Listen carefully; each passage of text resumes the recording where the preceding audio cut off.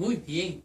Estudiando la lección en el día miércoles, usted puede encontrar lo que son las promesas del jubileo. Recuerde que el jubileo era el año agradable del Señor para dar libertad a aquellos que habían caído en esclavitud, producto de que habían tenido malos negocios, que quizás se habían, por así decirlo, vendido a alguien y para pagar la deuda que tenían tenían que venderse, de tal manera que cuando llegaba el día del jubileo, entonces en ese año, que era el, día del jubileo, se daban libertad a esos cautivos, se perdonaban las deudas, las tierras que la gente había perdido producto de endeudamientos, volvía hacia ellos, de tal manera que había mucha bendición en este día. La lección nos lleva al libro de Isaías, del profeta el testimonio bíblico dice así en el capítulo 61, versículo 1.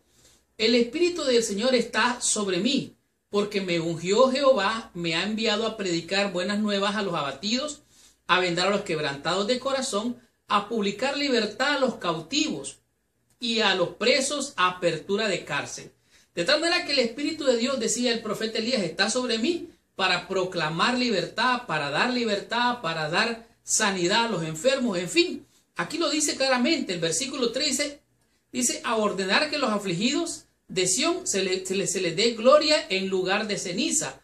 Dice, eh, óleo de gozo en lugar de luto, manto de alegría en lugar de espíritu de angustiado, si serán llamados árboles de justicia, plantido de Jehová para gloria suya. De tal manera que en este día, el año del jubileo o el día del jubileo, era un día que ocurrían cosas maravillosas.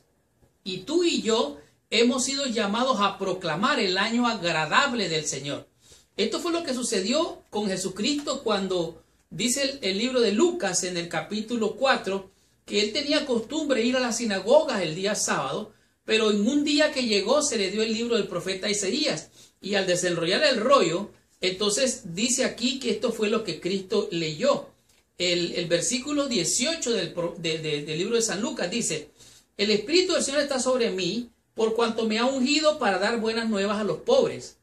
Me ha enviado a sanar a los quebrantados de corazón, a pregonar libertad a los cautivos, a, y a dar vista a los ciegos, a poner en libertad a los oprimidos, a predicar el año agradable del Señor. Y enrollando el libro, dice, se lo dio al ministro y se sentó. Y los ojos de todos en la sinagoga estaban fijos en él. Y dijo más todavía Jesús, dijo versículo 21, y comenzó a decirle, Hoy se ha cumplido esta escritura delante de vosotros. O sea, Cristo mismo estaba allí diciendo que delante de todos los que estaban ahí se había cumplido esa escritura. ¿Qué escritura se había cumplido? Bueno, ese era el año del jubileo, el, el año agradable del Señor. Dice aquí, Isaías 61 comienza con una declaración de que el Espíritu de Dios obra por medio del ungido para predicar buenas noticias a los pobres.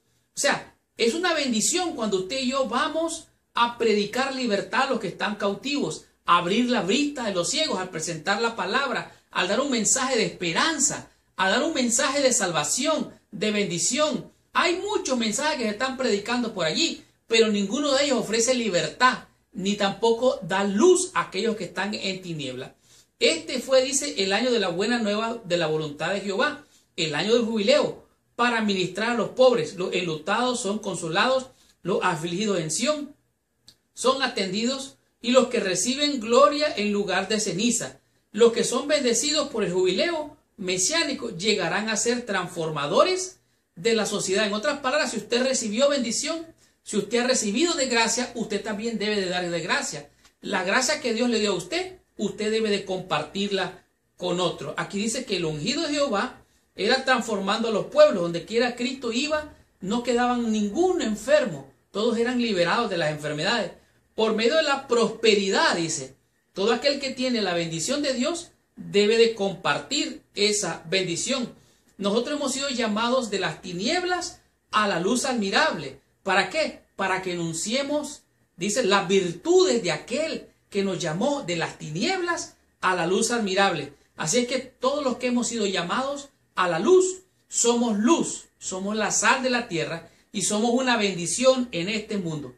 Si en tu iglesia no lo están haciendo o si tú no lo estás haciendo, es para replantearte cómo el Evangelio te está transformando y está ayudándote a dar bendición, transformación esperanza, libertad a aquellos que están en cautivo. Cuando nos deleitamos grandemente en el Señor, nos regocijamos en nuestro Dios y estamos vestidos de vestiduras de salvación y justicia en medio de nuestra comunidad. Se cumple, se cumple lo que dijo el profeta Isaías en el capítulo 61. Continuemos con esta lección, recibamos más bendición, estudiemos y descubramos qué nos enseña la lección del día jueves con el tema que es la iglesia, un agente de cambio.